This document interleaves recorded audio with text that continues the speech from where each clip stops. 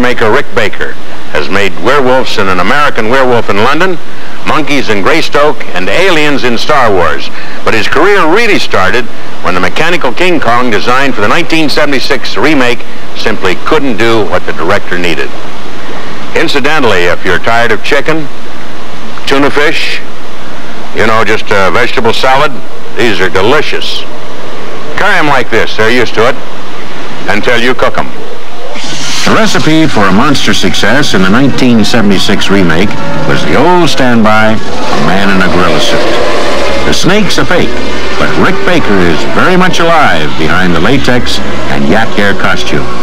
While Rick landed the job of performing the king, the line at the auditions didn't exactly snake around the block.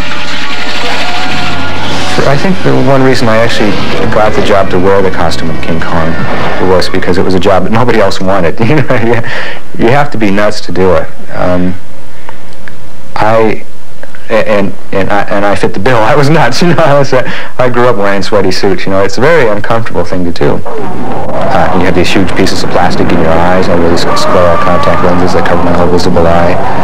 Uh, the suit weighed over 50 pounds, and uh, it was very hot.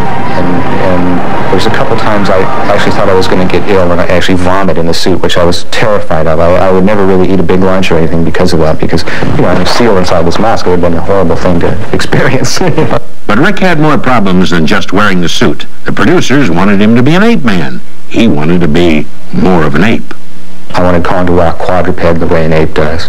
They wanted him to walk biped like a human. So I was I always had this constant battle of what I wanted to do with Kong and what they wanted to do.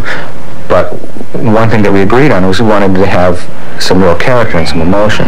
And uh, I forget how many heads we had now. It's been quite a while, but we had several different heads that I'd wear that were operated by uh, push-pull cables. When they, when they move a cable off camera, it would move a lip or something. So most of the facial expressions were, were controlled by people off camera. All I could do is what I could do with my eyes.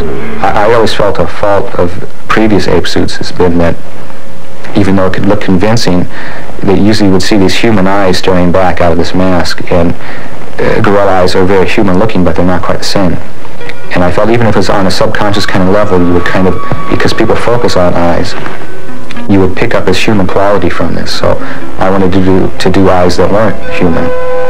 Uh, we actually didn't go for real gorilla eyes because they don't show up as well, but we made a larger iris.